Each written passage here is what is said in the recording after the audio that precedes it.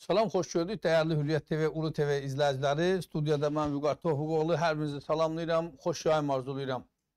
İlk öncə hər birinizə yayımımızı bəyənməni və paylaşmanı istəyirəm. Bu, bu işarəni bir də dəfə vurun. Ondan sonra istəyərsiniz, istəyərsiniz WhatsApp üzərindən paylaşın, istəyərsiniz Facebook üzərindən, istəyərsiniz Twitter, istəyərsiniz Telegram üzərindən. Həmin mövzuları, bizim mövzularımızı paylaşmağı unutmayasınız. Dostlar, bugün e, bir mövzu ilə bağlı danışmaq istəyirəm. Deməli, Milli Təhlükəsizlik Nazirliyinin, yəni keçmiş MTN-in həbsdə olan generalı uzun müddət Nazirliyin İstintaq Baş İdarəsinə rəhbərlik etmiş Mövlam Şıxaliyevlə bağlıdır. Şıxaliyevə qarşı 123 min dollarlıq iddia qaldırılıbdır. İddiası vaxtı ilə MTN-də həbsdə saxlanmış, hazırda baxılan işdə zərər çəkmiş kimi tanınlardan biri Ələddin Əliyevdir, dostlar. Əladdin Əliyev 2013-cü ilin yanvarında brilyant daşları qaçaqmalçılıqla ölkəyə gətirməkdə ittiham edilə həbs olunubdur. Deməli, Əladdin Əliyev 2013-cü ilin yanvar ayında brilyant daşları qaçaqmalçılıqla ölkəyə gətir daşlarını yəqin ki, gətirməyə gətirməkdə ittiham olunub və həbs olunubdur. MTN-in istintaq tədbirxanasında saxlanılan sahibkar bir ay sonra buraxılıb. O iddia edir ki, azadlığa çıxmasından ötürü 106 min dollar pulunu alıblar. Öncə MTN-in binası yaxınlığında iki dəfə olmaqla 100 min dollar pul veribdi. Zərərçəkmişin sözlərinə görə sonradan ondan tələb edilən məbləği 110 minə qaldırıblar və ondan daha 10 min dollar istəyiblər. Ancaq son nəticədə aparıb Bakı əyləncə mərkəzində 6 min dollar verməklə yaxasını qutarmış olubdur. Ələddin Əliyev deyir ki, ona qarşı qaçaqmalçılıq ittihamı saxta idi. Həbsə alınmasında məqsəd pulunu almaq olub. O iddia edir ki, üstəlik 17 min dollarlıq brilyant daşlarını da əlindən alıb götürüblər. Orada baş verənlər Mövlan Şıxaliyevin göstərişi ilə həyata keçirilirdi. Onun hər şeydən xəbəri var idi. Onun bunu söyləyən iddiaçı keçmiş MTN generalından ona dəymiş ziyanın ödənilməsini 123 min dollarını geri qaytarmasını tələb edir.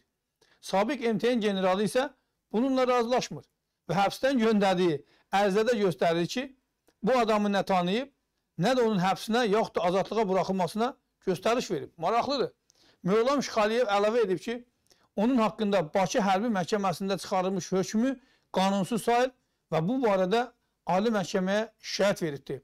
Məhkəmə oktyabrın 28-də Ələddin Əliyevin iddiasının 106 min dollarlıq hissəsini təmin edib. Belə nəticəyə gəlinib ki, o 17 min dollarlıq brilyant daşlarla bağlı hissəni sübuta yetirə bilməyibdir. Keçmiş MTN vəzifəlilərinə verildiyi iddia olunan 106 min dollara gəlincə, bu Bakı Hərbi Məhkəməsinin hökmü ilə də təsdiqlənib. Beləliklə, keçmiş MTN generalının üzərinə zərər çəkmiş Ələddin Əliyevə 106 min dollar təzminat ödəmək öhdəliyi qoyulubdur. Mövlan Şıxaliyevin işi üzrə zərər çəkmiş qismində tanınan digər şəxslər də ona qarşı mülki qaydada iddia qaldırıblar. Onlar Bakı Hərbi Məhkəməsində Mövlam Şıxaliyev və onunla birlikdə mühakimə olan daha 3 nəfər keçmiş MTN polkovnikinin işinə baxılan zaman da zərər çəkənlərin bir qisminin təmin ziyanının ödənilməsi tələbi ilə mülki iddia qaldırmışdılar. Hazırda mülki iddiası təmin edilən Ələddin Əliyev və digər zərər çəkənlər məhkəmənin gedişatında mülki iddia təqdim etməmişdilər. Məhkəmə yekunlaşandan sonra isə onlar bu hüquqlarından da istifadə ediblər. Mövlan Şıxaliyev 2021-ci ilin aprelindən həbsdədir. Qanunla ki, onunla mühakimə olan 3 nəfər keçmiş MTN polkovniki ötən il sentyabrın 21-də Bakı Hərbi Məhkəməsində hökm oxunarkən məhkəmə zalında həbs ediliblər. Hökmə əsasən Mövlan Şıxaliyev 12 il, Vüsal Ələşbərov 11 il 2 ay, Yasin Məmmədov 10 il 6 ay, Sahib Ələşbərov isə 8 il azadlıqdan məhrum ediliblər. Məhkəmə Mövlam Şıxaliyevin general-mayor digərlərinin də rütbə və tərtiflərinin alınmasına da qərar verib. Bu il iyulun 24-də prezident sərəncamı ilə onların rütbələri bir sıra orden və medalları, yəni vətənə xidmətə görə, e, vətən uğrunda və s. ordenlər hamısı geri alınıb. Cinayət işində toplam 14 milyon 292 min manat rüşvətdən hədə qorxu ilə adamların 5 milyon 777 min manat ələ keçirməsindən gedir. Sabiq MTN-çilərin heç biri bu ittihamları qəbul etmir. Özlərinin təqsirini bilmir və deyirlər ki, MTN-də bu işləri öz başına elə bilməzdilər. Fikir verin, ha? Axı istintaqa prosessual nəzarət orqanı, yəni prokurorluq var. Mövləm Şıxəliyev və digərləri bildirirlər ki, cinayət işi MT-nin istintaq baş idarəsində başlansa da qərarı baş prokuror və onun birinci mavini verirdi. Cinayət işi başlamaq, şəxsin barəsində həbs qəti imkan tədbir seçmək üçün məhkəməyə təqdimat vermək və səlahiyyətləri ancaq prokurorluqdadır. Onların sözlərinə görə əgər ortada kimlərinsə günahsız həbsi varsa, buna görə prokurorluq həbs qəti imkan tədbiri seçən məhkəmə saxta rəy verən ekspertiza məsuliyyət daşımalıdır. Dostlar, sizcə bunlar haqlıdırlar yoxsa haqsızdırlar? Hər dəfə ki, mən eyni şeyə vurğuluyuram, ha, üstünü basa-basa. Hər şeyin başında məhkəmə hakimiyyəti durur. Polis də səhv eləyə bilər, DTX da səhv eləyə bilər, nə bilim, xüsusi idarələr də səhv eləyə bilər, prokurorluq da səhv eləyə bilər. Məhkəmə səhv eləyə bilməz. Məhkəmə səhv eləyə bilməz. Məhkəmə səhv elədirsə, adamın taleyi qaralır. Adamın taleyi məhv olur. Adam insan kimi məhv olur, qardaşlar.